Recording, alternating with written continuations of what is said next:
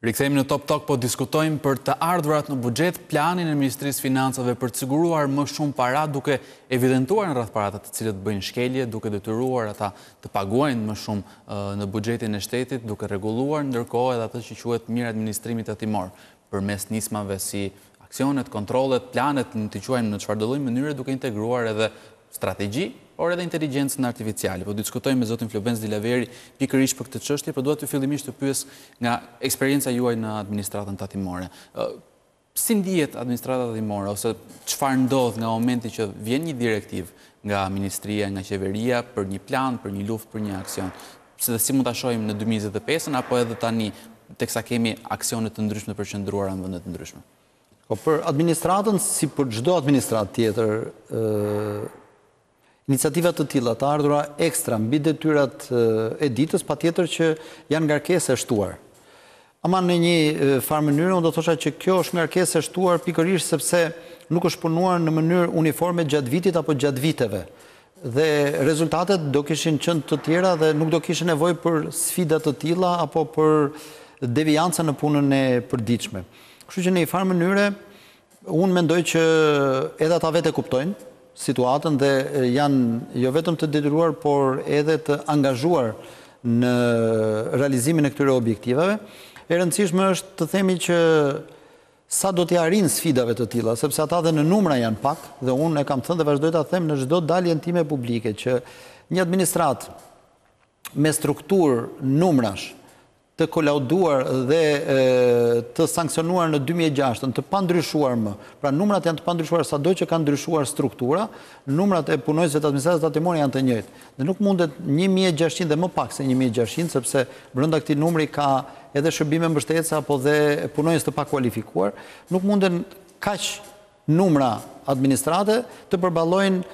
flukset në rritje të biznesit. Jemi në shifrën e diku te njëqind e tridhjetë mijë bizneseve sot dhe do vazhdojmë të rritemi sepse është zhvillimi i tillë. Pra, edhe nga pikëpamja sasiore, po dhe nga pikëpamja cilësore, administrata ka nevojë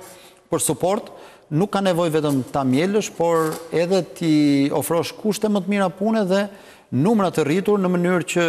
ata të përmirësojnë cilësinë. sepse do merret një inspektor me më pak dosje, do ketë mundësi të bëjë më shumë punë shkencore të drejtpërdrejtë dhe të mirëfilltë në studimin e situatave të biznesit dhe të dalin konkluzione më të qarta sesa po të studiojë ose po të ketë në varësi dyqind apo treqind subjekte. Ndërkohë, teksa Edhe evidentimi apo konstatimi juaj përkon edhe me deklarata të ndryshme të bëra edhe nga misioni i Fondit Monetar Ndërkombëtar ndër vite, duke pasur në funksion veçarisht administratën. Tani, duket sikur na vjen si një zgjidhje, po për shumë sektorë të ndryshëm të të Shqipërisë, të qeverisjes në Shqipëri, inteligjenca artificiale. Tani, ne na u tha kur u bë fiskalizimi, që kaluam nga kasat fiskale në sistemin e ri, dikush tani është me tabletë apo kompjuter, dikush ka përshtatur sërish kasat, megjithatë na u tha që do të kemi më shumë kontroll dhe do të dalim në kohë reale me evazionistët apo shkeljet e ndryshme se do na i nxjerri vetë sistemi. Sot kjo gjë nuk ka ndodhur që na duhet inteligjenca artificiale tani më për t'i evidentuar? Me sa duket nuk ka ndodhur. Ajo që duhet theksuar është që fiskalizimi e ka çuar në një hop më të lartë cilësor gjithë punën, qoftë të administratës, qoftë edhe të subjekteve të biznesit në tërësi. Unë kam qenë ndër skeptikët në raport me arritjet e fiskalizimit dhe evidentoj sot që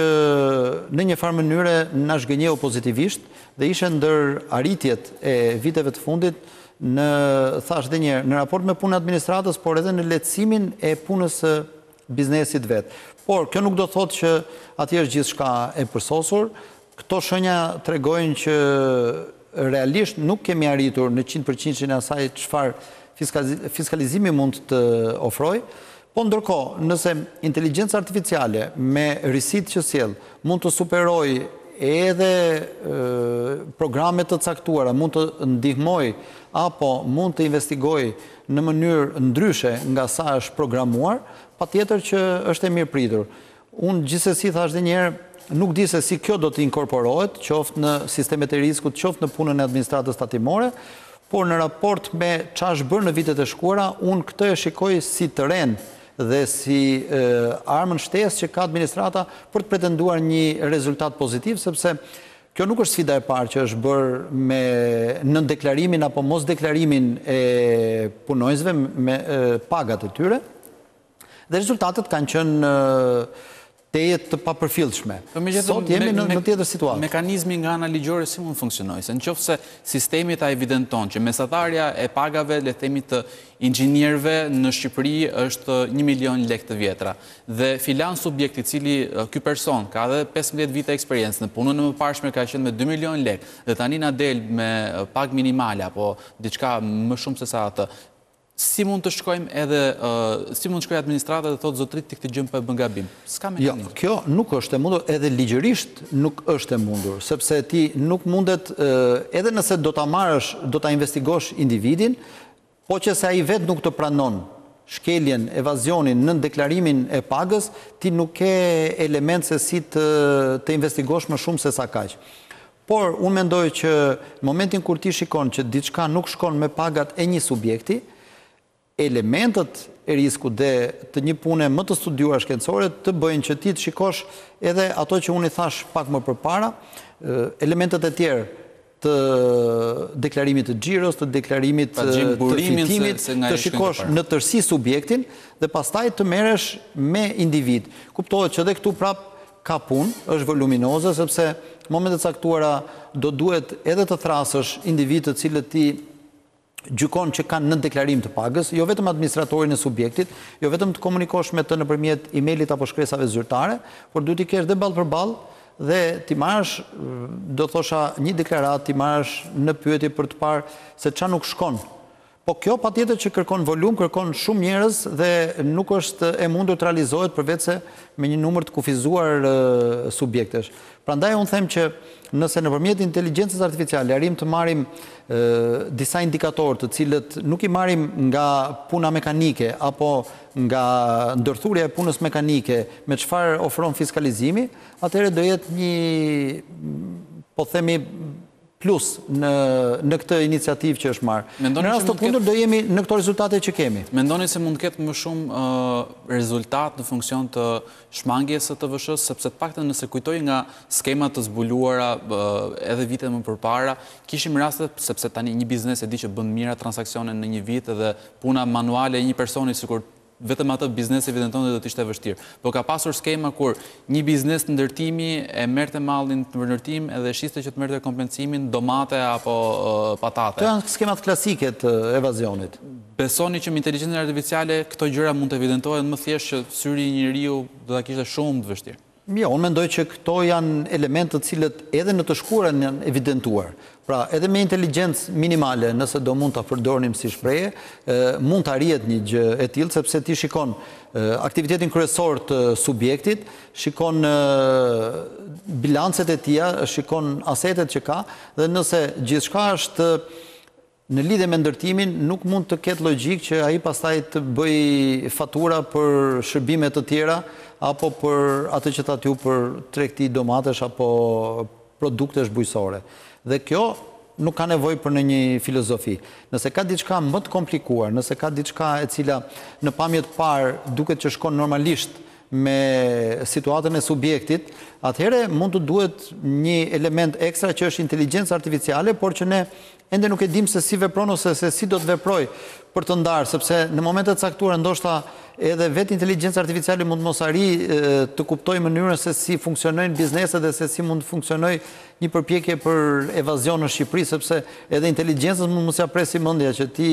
blen hekur dhe shet domate. E ka thënë edhe kryeministri, ku ka sisteme shqiptarët janë të parët që do gjejnë mënyrën për t'i anashkaluar. Absolutisht po. Megjithatë, është përmendur dhe ka pasur deklarata edhe pse të jo të nxituara edhe shumë herë të matura në këto deklarata, por duket sikur mund të jetë një opsion për kthimin e evazionistëve, veçanërisht të atyre të cilët nëndeklarojnë pagat, bizneset, në përfshirjen e tyre në kodin penal. Do të ishit pro një nisme të tillë? Shiko, gjithçka e cila e tejkalon masën e penalitetit, mund të kthehet në të kundërt. Pra, ne e kemi provuar këtë kur shkoi pesëqind mijë lekë të reja penaliteti për moslëshim të kuponit tatimor. Apo kur për moslëshim kuponit për herë të dytë subjekti kallëzohej në prokurori. Rastet u minimizuan. Vetë administrata ishte e pamotivuar për të zbatuar ligjin sepse mendonte që do përballej individualisht me subjektin dhe iu mungonte kurajo. Kuptohet që patjetër në një farë mënyre individë që marrin përsipër të bëjnë dhe të përfaqësojnë shtetin nuk mundet të lëshohen në forma të tilla, por presioni që vinte dhe dëmi që i shkaktohet subjektit se Është dëm i jashtëzakonshëm për një subjekt të thjeshtë të marrë një gjobë pesëqind mijë lekë për moslëshim dhe flas për pesëqind mijë lekë të reja, moslëshim kuponi tatimor, apo që të denoncosh dikë në prokurori. Dhe unë mendoj që prapë dhe një iniciativë e tillë, më shumë synon të sensibilizojë biznesin për dëmin që mund t'i shkaktojë vetes, sepse nuk është e thjeshtë të endesh dyerve të prokurorive të gjykatave për një nëndeklarim page apo për disa nëndeklarime pagash. Dhe më shumë është ky synim se sa ideja që me këtë do arrish të rikuperosh rezultat, sepse thashë që vetë administrata fillon edhe demotivohet. Ndërkohë, duke iu rikthyer asaj që është strategjia afatmesme e të ardhurve, ka disa masa të cilët synohen që të nisin përgatitjet në dy mijë e njëzet e pesë, në disa raste shumë shpejt edhe aplikimin nga mesi i dy mijë e njëzet e pesë-s apo deri në dy mijë e njëzet e shtatë. Flasim për, për shembull, tek TVSH-ja që e diskutuam, të rriten të ardhurat me zero pikë nëntëdhjetë e dy për qind të prodhimit të brendshëm bruto në vit, që është një shifër relativisht e konsiderueshme. Të ulet përdorimi i keshit, duke vendosur siç ishte nisma, për paratë në dorë për individët deri njëqind e pesëdhjetë mijë lekë maksimalja. Pra deri një milion lekë e gjysëm mund të bësh shkëmbime midis dy individëve, qoftë për të shitur një makinë apo diçka tjetër, gjithçka tjetër duhet të jetë përmes bankës. Krijimi i një regjistri të aseteve për bizneset dhe krijimi i një regjistri të pasurive të tatimpaguesve për individët, ku të ndërthuren edhe të dhëna, për shembull, nga regjistri i makinave, po ashtu të ardhurat e individit për t'u kryqëzuar më pas në sisteme të ndryshme së bashku me platformën e pronave, apo edhe për të vjellë më shumë para në zona të cilat konsiderojnë problematike, si tatimi i pagave, qiratë, pra 15% në burim i qirave dhe tatimi mbi fitimin i kompanive. Në pamje të parë këtë strategji, si e shifni? Janë shumë të bukura, por vështirësisht të realizueshme. E para sepse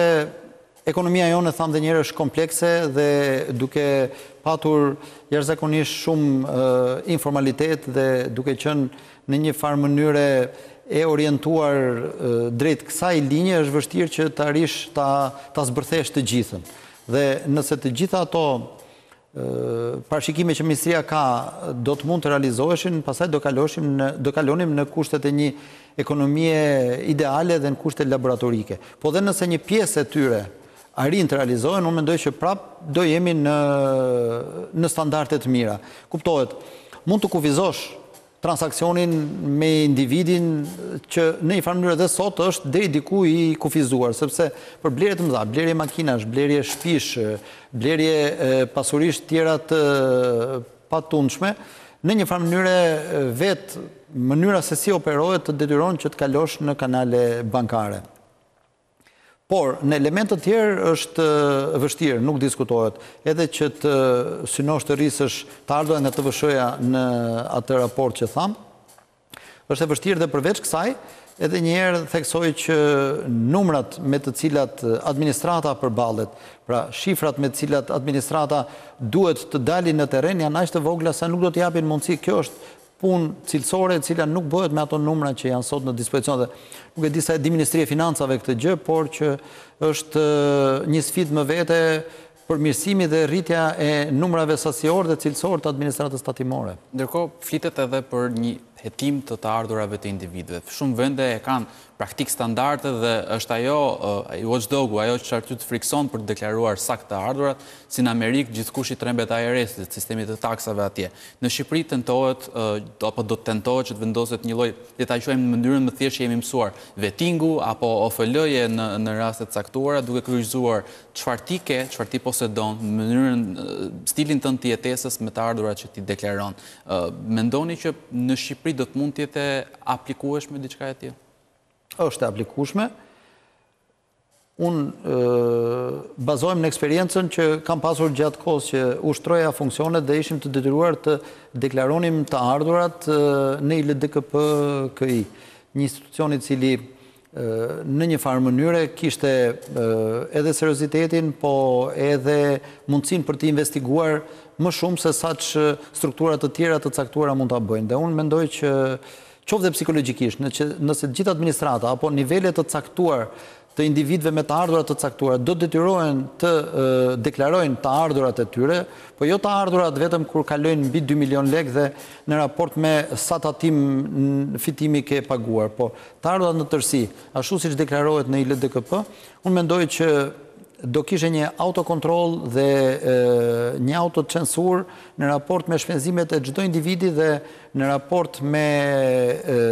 palishmërin e secilit prej tyre, sepse të detyron vetë fakti që ti deklaron dhe vetë deklaron. Mund të mos kontrollohen asnjëherë, sepse do jetë e vështirë që të kontrollohet dyqind apo treqind mijë individë në raport me sa kontrollohen sot. Por,